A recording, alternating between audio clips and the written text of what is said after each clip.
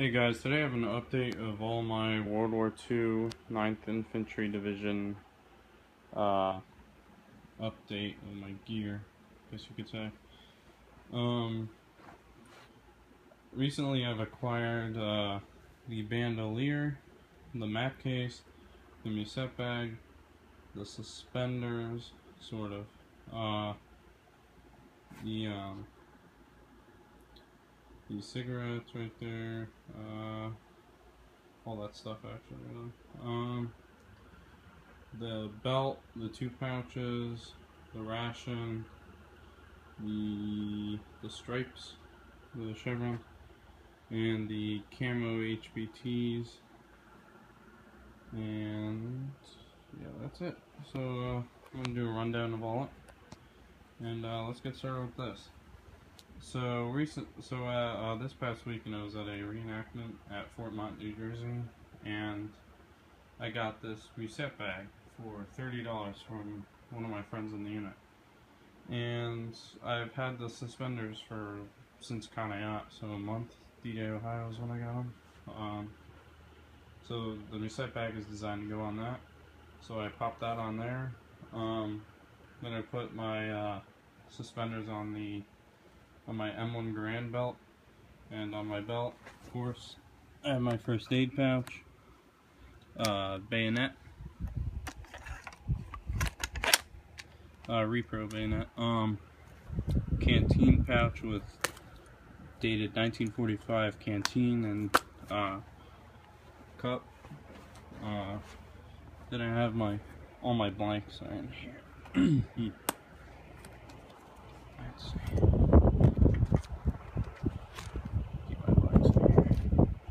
I actually have acquired some other blanks.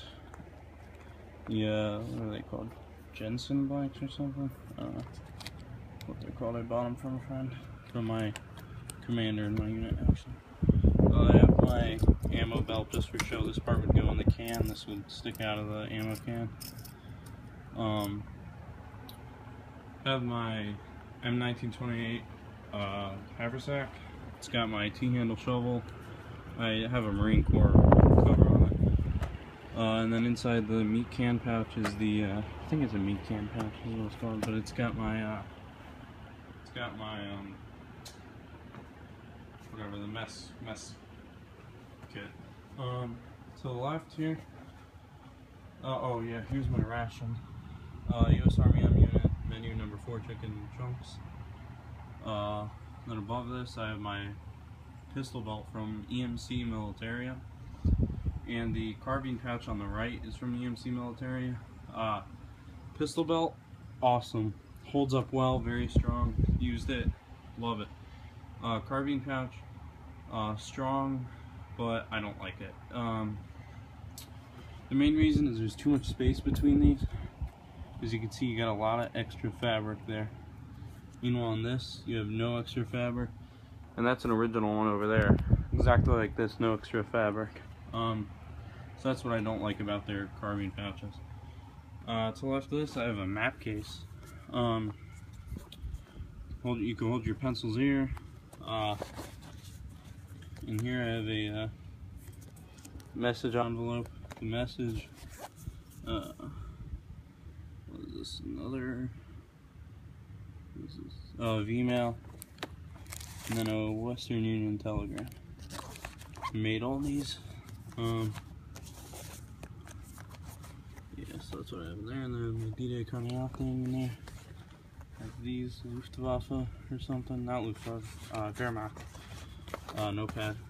And then all this stuff right here goes inside of it. Um, maps, stuff. And then I have a uh, service writing tablet, a uh, map of Germany, uh, Lucky Strike cigarettes. These are knockoffs from World War II impressions.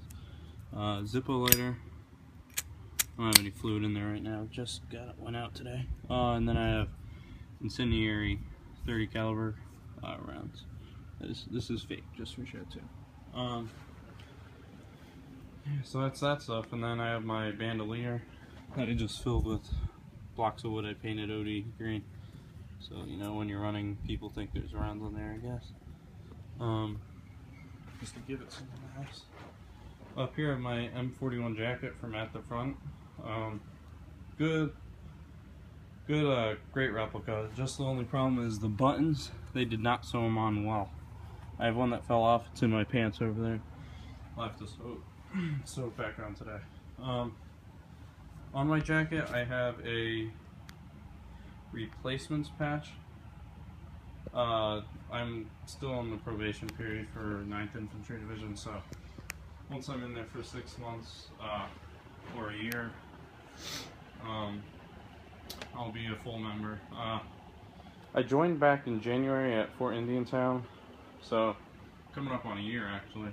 Um, but my first reenactment with them was in April, uh, so so it's been six months, but you know probably have to wait a full year. Um, till April. Uh, I don't mind that much. I mean, my friends now. Uh, then I have my, uh, what is it? U.S. Army uh, rough out shoes. Uh, let's see if you can see in there. These are from at the front. June 30th, 1943. read that. U.S. Army. Uh, I just put mink oil on them. Uh, so they were bright. They were like this color. Or like, know, whatever, I can't really see. But they were really light brown before I put, put the mink oil on them. Uh, and then I have U.S. Marine Corps leggings that I use. Uh, very closely resemble the Army ones, so I'm just using those for now. Until I can get Army ones. Um, to the uh, right of those, I have my uh, technician 5th grade patches. Uh, I speak German, so uh, I'm going to use technicians, and then uh, once I get the rank of corporal, so uh, that'll be for a while yet. Up here, I have my standard U.S. Army HBT pants. I recently acquired um, the U.S. Army HBT camo pants and shirt. Uh, I got those both for a steal. They're brand new. Uh, I got them for $15, which is pretty awesome. I got them with the hat too, even though they never use this hat. Um, and then above this, I have my standard wool shirt with the U.S. Army HBT shirt. Brand new, 15 bucks. Awesome deal. Um, it was from a guy in my unit. Uh, he wanted to keep them eventually, but uh, he let me grab them. So, yeah. So, and um, above my shoes and HBTs, I have my uh, M1 steel pot helmet with my camo, or not camo, what am I saying? The, uh, with my netting on it, uh, from at the front, paid like four bucks for it. Uh, it is a Vietnam helmet. Uh, see Viet the liner is Vietnam. I don't know, the helmet might be Vietnam too. But um you can see I had a unique way of attaching the uh, liner straps. It's the only way I could attach it to this Vietnam helmet liner. Um, so that's my helmet. And then I have my overseas cap. I will soon be getting the 60th Regiment uh, pin for it. Uh, that's at the front also. Um, this is my kit for my, uh, this is my standard infantry infantry kit. Uh, usually I'd be using the haversack, but for this video I mean, have my musette bag on there because it's now. So, uh, hope you guys, hope you guys enjoyed this video. If you have any questions or comments, leave them in the comment section below. Uh, I can answer any questions you have. Uh, well, thanks for watching, and um, please give me good reviews. Thank you.